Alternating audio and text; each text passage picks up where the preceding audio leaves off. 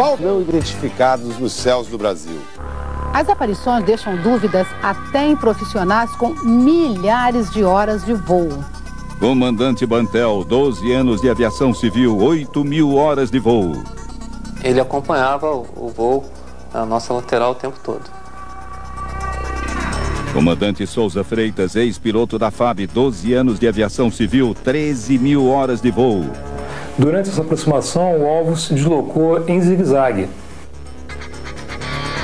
Comandante Kleber, ex-piloto da FAB, 12 anos de aviação civil, 9 mil horas de voo. Não tem uma forma definida, era uma luz muito forte. Comandante Pravato, 22 anos de aviação civil, 15 mil horas de voo. O Sintacta, o centro de Brasília, ele procurou no radar e achou. O mais célebre caso de avistamento de um objeto não identificado por um piloto no Brasil aconteceu em 82 com o comandante da VASP, Gerson Maciel de Brito. À esquerda eu vi na minha janela um ponto luminoso que pela coloração não, não era o normal. Aí até chamei o primeiro oficial e o engenheiro de voo, vocês estão vendo aquilo ali? Eu olhei e tal, é ponto amarelo, coisado. Nós estamos voando a quase mil quilômetros por hora. E a velocidade relativa nossa, quer dizer, mesmo a distância, dava a impressão que estava nos acompanhando. Quando estávamos quase na vertical de Belo Horizonte, aí nós observando, começou a haver a aproximação maior. Quer dizer, começou a vir o ponto, começou a aumentar a intensidade de luz, compreende? Aí eu pude delinear o objeto, vamos dizer, fisicamente, não só a emanação da luz, como o perfil, como fosse um, um, um, dois pratos superpostos do tamanho de uns dois jumos, assim, enorme. O engenheiro de voo falou, comandante, o que, que é isso? E o primeiro oficial também. Aí eu falei, ó, pode ser um objeto não identificado. Naquela noite, o Centro de Controle em Brasília consultou um comandante da Transbrasil que voava na mesma área. Aí eu respondi que eu estava ciente, que inclusive já estava também observando, e que eu confirmava tudo aquilo que o Brito tinha relatado ao Centro Brasília. Na época, tripulantes e passageiros confirmaram o avistamento. Dias depois do episódio, o astrônomo Ronaldo Mourão fez um voo na mesma rota e no mesmo horário. Ele acreditava que as testemunhas podiam ter se confundido com o planeta Vênus. Mas o brilho de Vênus em nada se comparava com o objeto descrito pelo comandante Brito. O caso mais recente aconteceu em junho passado, com o comandante da Varig, Marcos Bantel, num voo Rio-Belém ele ouviu um contato de rádio entre um comandante da TAM e o controle aéreo de Recife. Era um relato de avistamento. Observei também o fenômeno. Uma luz muito forte, né? mais que qualquer estrela, mudando de cor. É branco, vermelho e azul, mudando alternadamente. Então, aquilo durou durante uns 10 minutos. E a, a aeronave da TAM, quando, quando, falava, quando a gente falava em luz vermelha, ela conseguia ver que as luzes vermelhas, se não me engano, estavam na parte de baixo do objeto. A intensidade da, da, da luz era aproximadamente de 5 a 10 vezes o que seria da, do planeta Vênus. Em 86, 21 objetos não identificados foram detectados pelos radares do Sindacta, no espaço aéreo de São Paulo. Caças F-5 e Mirage decolaram para tentar interceptar os alvos. O tenente Kleber partiu da base de Santa Cruz o capitão Viriato, da base de Anápolis. Quando foi às 22h30, eu estava é, chegando na aeronave já é, e me deparei com um sargento de armamento, né, é, abastecendo o míssil com nitrogênio, um míssil real, e me informando que a aeronave estava, estava equipada com armamento de guerra, né, com munição de guerra. E ainda perguntei brincando, o que, o que aconteceu, né? ele também só disse que tinha recebido ordem para botar armamento de guerra. A Defesa Aérea me solicitou naquele instante que eu fosse para cima do alvo e tentasse identificar o que era. Eu me aproximei então do alvo é, até praticamente 6 milhas. Durante essa aproximação, 6 milhas daria em torno de 12 quilômetros.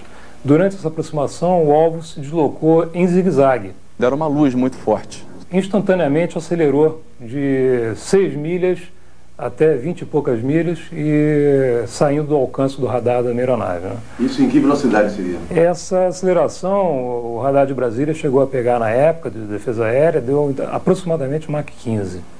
Isso aí daria em torno de 15 mil, 15 mil km por hora. Hoje eu diria que é algo na envergadura de um jumbo, uma largura de um jumbo de, na matéria de asa, tá? A envergadura que eu falo de ponta de asa a ponta de asa.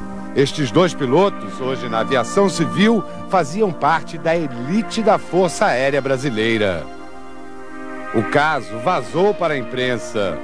Na manhã seguinte, o então ministro da Aeronáutica, Otávio Moreira Lima, teve um despacho com o presidente José Sarney e decidiu dar uma coletiva.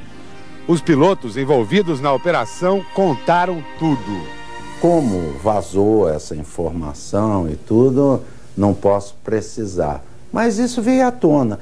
E uh, uma vez vindo à tona, a melhor forma de você tirar qualquer dúvida é você fazer uma declaração que aquilo não tinha nada de, de digamos assim, que pudesse afetar a segurança do país. Além do planeta Vênus, os astrônomos buscam outras explicações científicas para os avistamentos de OVNIs. Balões meteorológicos, por exemplo. Um balão meteorológico, ele não tem condição de acompanhar um jato a quase mil quilômetros por hora. Há também um fenômeno conhecido como paraélio, o Sol ainda está abaixo da linha do horizonte, mas os primeiros raios se refletem nas nuvens. Só que esse fenômeno não se encaixa com os relatos dos pilotos. O editor Ademar Gevaer, que pesquisa o assunto há 25 anos, mostra uma foto rara.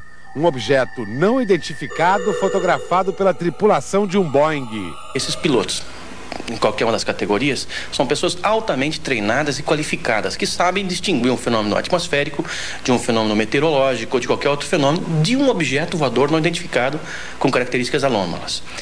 Em segundo lugar, esses profissionais nunca estão sozinhos. Um piloto civil geralmente está com o seu acompanhante na cabine. E é comum que a observação seja feita por ambos, assim como o restante da tripulação e muitas vezes até pelos passageiros. O consultor aeronáutico Douglas Avedikian era controlador de voo em Brasília quando os 21 OVNIs foram detectados no céu do país. Ele garante que houve vários outros casos semelhantes. Imediatamente a gente teve uma orientação bem enfática dos, dos superiores que, por uma questão de segurança nacional, nós não comentássemos nada na época, né? Como é assim até hoje. E hoje eu tenho essa oportunidade de, de, comentar porque a atividade que eu exerço eu não tenho mais vínculo com a Força Aérea. Eu sou hoje um consultor aeronáutico, então eu, eu tenho a oportunidade de poder colocar isso a público e enfatizar que foi, realmente foi verdade. O problema é saber o que é que os pilotos da nossa aviação andam vendo pelo céu do Brasil. Se se trataram de de naves interplanetárias, isso não. Isso nós não temos absolutamente conhecimento nenhum.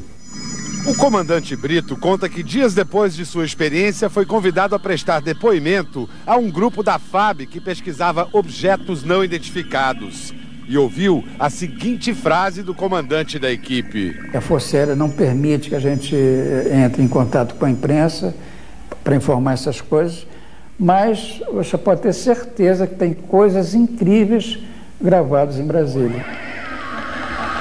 Hoje, a Força Aérea Brasileira limita-se apenas a arquivar os relatos de objetos voadores não identificados.